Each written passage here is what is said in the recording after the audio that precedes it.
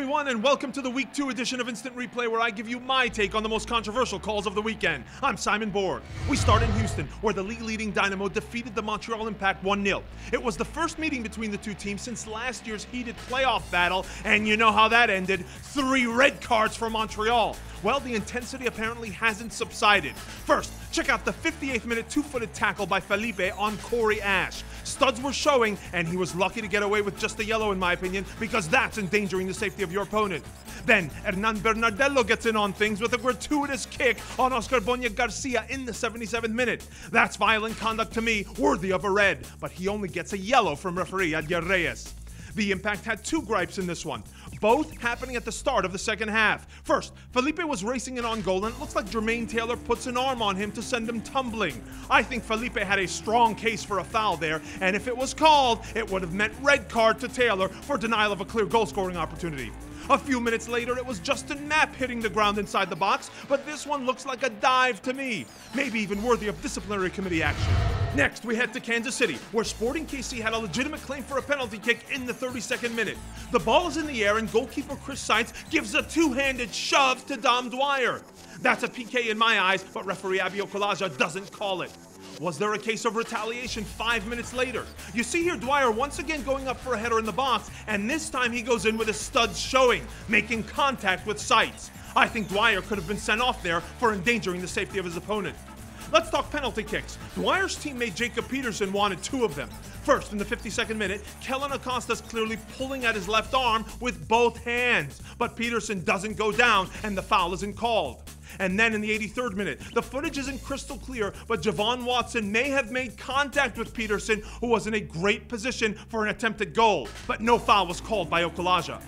One more for Sporting Park. Late in the game, rookie Alex Martinez is fouled by Fabian Castillo. But look at what Jair Benitez does on the play. Kidney punch!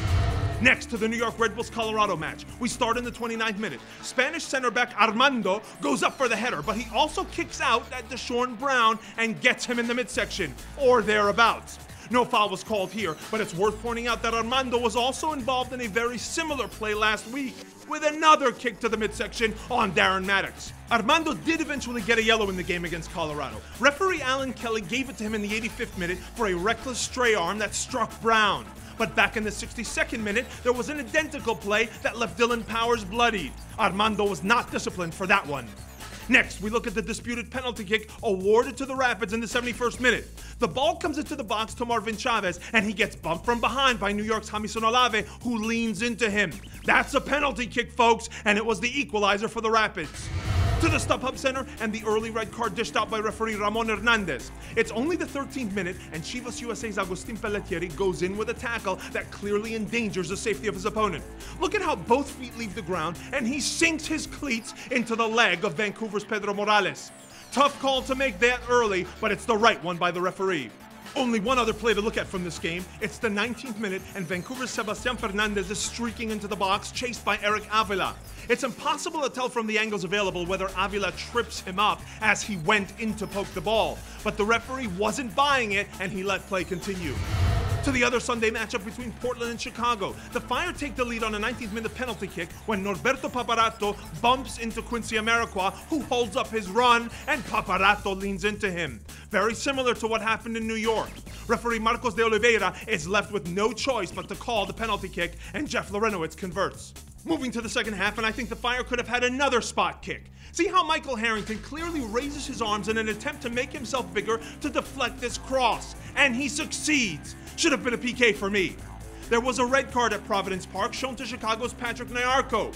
He is already on a yellow card, and in the 86th minute, he commits a foul here that stops a promising attack. By the book, that's a yellow card, and Nyarko is out of the game. To PPL Park, and the goal scored by the Philadelphia Union in the 31st minute, and created by Leo Fernandes. But the question is, did Fernandes foul Andrew Farrell to start the play? Look, it's a risky decision by Farrell, and I think Fernandes simply positions himself perfectly to shield the ball. Farrell falls to the ground, but I don't think Fernandes is at fault. Referee Kevin Morrison does well to let play continue. But I disagree with Morrison on a big play in the 50th minute. Philly center back Austin Berry is already on a yellow card, and he clearly takes down Jerry Bengtson on a breakaway, stopping a promising attack. And that's a yellow card, which would have resulted in a red for Berry. He clips Bengtson's left leg right here. But the referee doesn't call a foul. To San Jose, where Chris Wondolowski opened his 2014 account with a goal in the sixth minute, but he was offside on the play.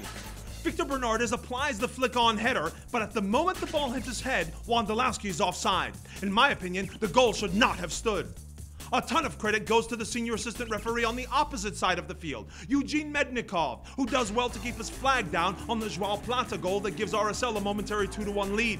Plata is in line with the defender on the pass. One more from Buck Shaw. Rookie JJ Koval fouls Alvaro Saborio and is rightfully shown a yellow card by referee Jorge Luna Hernandez. But look at how Saborio also takes a swing at Koval. Although he misses, you wonder if the disciplinary committee will take a second look at that one. Lastly, we end in Seattle, and an early incident in the sixth minute. The ball is practically out of play when Jackson just whacks Clint Dempsey. Now, remember there's history between these two players. Last year, they also were kicking at each other. No cards were issued back then, and the same happened on Saturday. I thought Jackson should have gotten a red card for violent conduct. But later in the game, Dempsey was guilty of something similar. Look at the kick he gives Alvaro Rey with the ball nowhere in sight. Another case of violent conduct, punishable in my opinion by a red, but the ref lets him off the hook. That wasn't even the most talked about play involving Dempsey from this game. That happened in the first half, and Toronto's Mark Bloom was on the wrong end of it.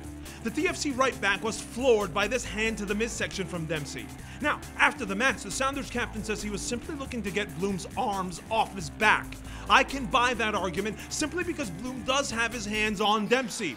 And if Bloom accepted Dempsey's apology, so do I. Simple mistake.